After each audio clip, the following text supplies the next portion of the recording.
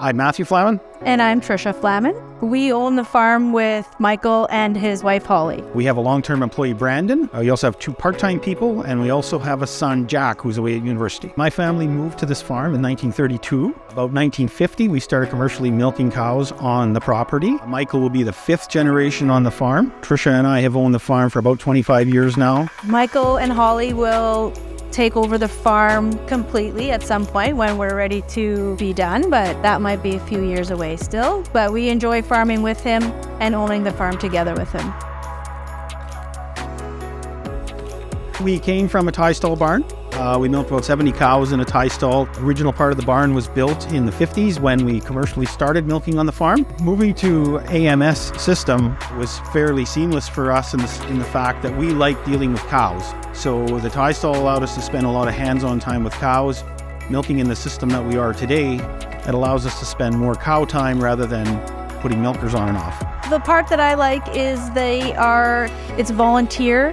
They can come and go as they please. In the milking tie stall, it was twice a day, whether they were ready or not. Sometimes they were ready sooner rather than later. They eat, sleep, milk, and drink whenever they want. That's why I like the new build.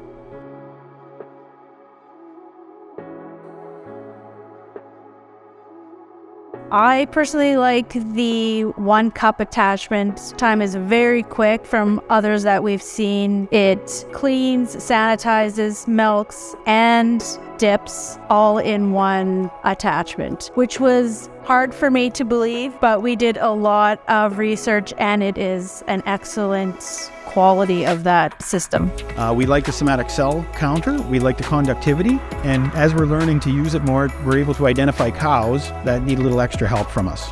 I really like how fast the attachments are. I uh, appreciate that, and I think they're very cow friendly, whereas in they can separate, uh, they're comfortable in the box and they can separate quarters at a time, which helps us for uh, finding sick cows and when we do treat sick cows because in the end we still take uh, the milk and feed our calves so we like to keep the good milk even if there's one that's getting dumped out we still like to keep the good milk to feed the calves i like the manual attachment a lot uh, especially on a fresh two-year-old i bring them in make sure they're eating their grain and comfortable before I put the milker out. I found um, they let their milk down faster and they kick less as well as they're more apt to come back in when we bring them up. So usually the second time or third time in, when you put them in the pen, they go on their own to the robot.